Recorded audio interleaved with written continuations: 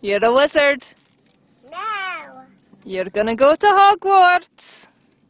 No. Yes. You get your owl. It'll deliver your mail. No. You, you're a wizard.